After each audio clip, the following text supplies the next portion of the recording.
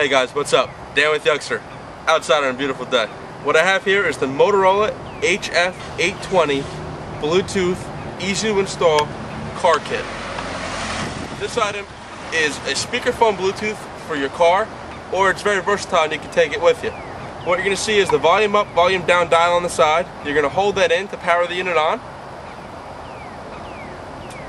Then this button here is going to be your call button, call start, call end. On the side, you're going to have a headphone port for the headset if you want to have a private conversation. And let me show you how this thing works.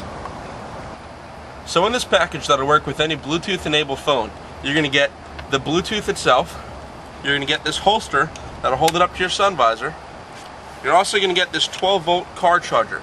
Now this will charge this thing on the go. This will work for 5 hours talk time and 100 hours standby time. Now, simple, you're going to take this clip, put up, we got a phone call. Yeah, one second. Press the center button to answer it. Hello? Hello, it's Dan. Oh, this is Dan.